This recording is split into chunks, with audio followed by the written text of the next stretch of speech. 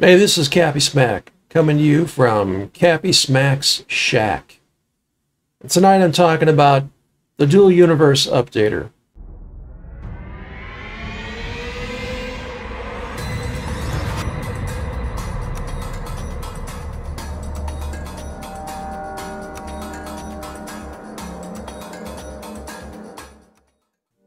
Generally, it will crash once and then it'll do an update.